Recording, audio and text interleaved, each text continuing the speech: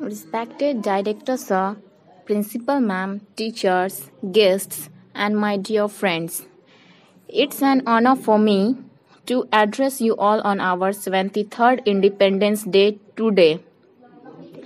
As we all know that it was on this eventful day in 1947 that we gained independence thanks to the freedom fighters and political vision arise of that time, they had visions of free and united India and fought bravely against British Empire to make their dream true. Finally, their dream was realized on 15th August 1947. The nation had to pay heavy price for it with the joy of independence came to the sorrow of partition. Some of the great freedom fighters of India are Bhagat Singh, Sukhdev, Rajguru, Rajguru Netaji, Subhash Chandra Bose, Mahatma Gandhi, Jawaharlal Nehru, and so on.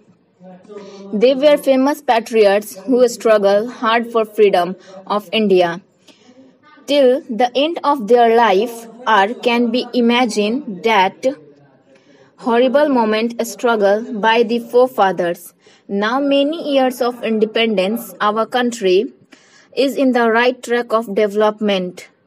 Today, our country is a well established democratic country all over the world.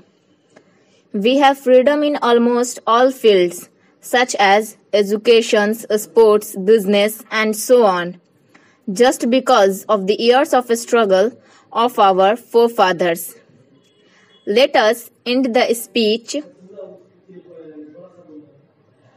with a pledge to maintain the dignity and equality of the motion and to remember all those freedom fighters who had sacrificed their lives just for giving us a beautiful and peaceful life. Jai Hind, Jai Bharat. Thank you.